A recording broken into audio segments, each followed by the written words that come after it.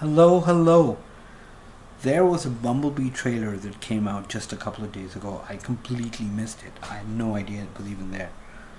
But I do now, so I'm going to give it a watch.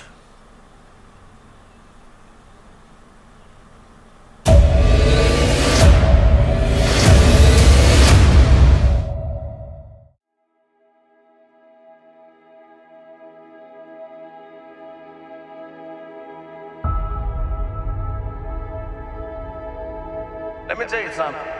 Let me tell you something. A driver don't pick the car. Car pick the driver. It's a mystical bond between man and machine. It's a mystical bond between man and machine.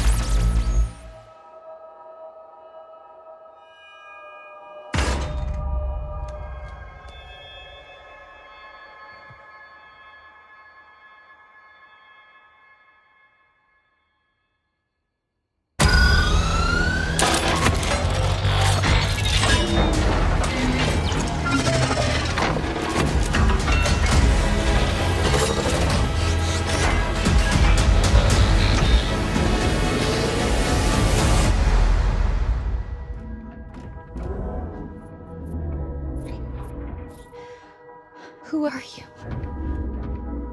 Do you speak? I won't hurt you.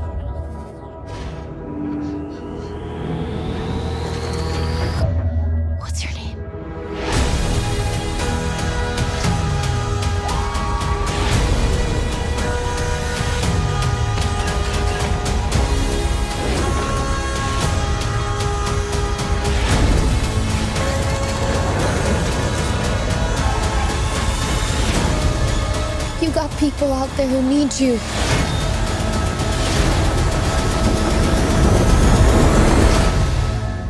This is why you're here, B. You know, beat music can help you say what you're feeling. Try this.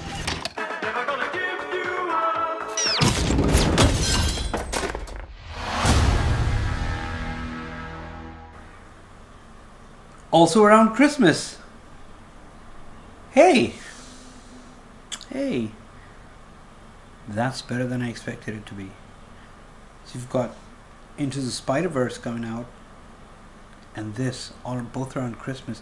Hang on a second. Wait. Okay. That looks a lot better than I expected it to because I was like, oh, Bumblebee, another Transformers movie. But this is looking nothing like a Michael Bay film. I don't think it is. Who is that girl? I can't seem to remember where I've seen her. My God, that looks that looks heartfelt. It looks um, it looks like it's got plenty of emotion. Bumblebee looks good. I love the transformation. It was it was it was very nice. Um, and they've used uh, the old Beetle. I it's set in the eighties. I think. I think they're it is kind of nostalgia filled. So it is set in the eighties. Although aside from the uh, uh, maybe a couple of things, I don't I don't aside from the audio tape at the end. Uh, I don't recall how um, how they made it seem like the eighties. Uh, but let's see. I don't know.